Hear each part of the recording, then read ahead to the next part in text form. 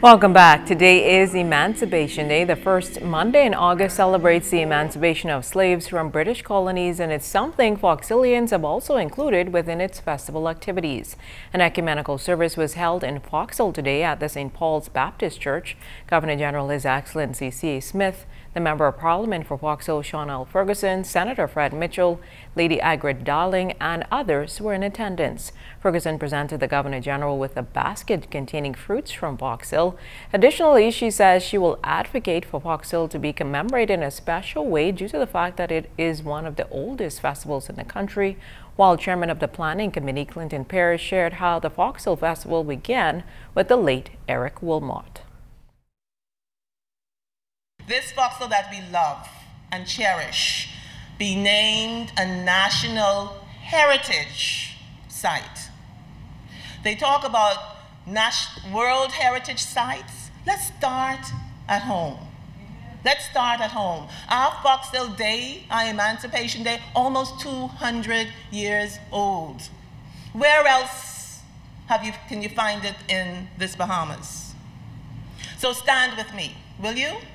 Stand with me and let's push, let's agitate, let's tell our country why Foxhill should be a national heritage site. He had the idea to bridge the two days of Emancipation Day and Foxhill Day with activities in between to create a festival.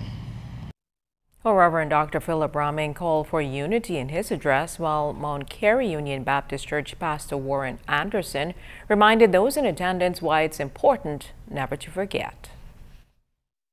Now we are free. We can move. We need to cherish it, but do it in relationship with all of us together. We are one people, and Androsians, and Providence, the rest, one people, and we're united in service and love.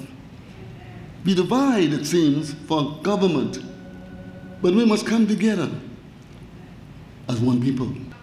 But Jesus is saying to them, you've got to remember, he began to teach them about Abraham, Isaac, and Jacob. He began to teach them about the past.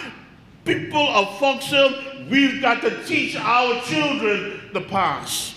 We've got to train them in a way that we used to have and remember that they remember the past as they grow up.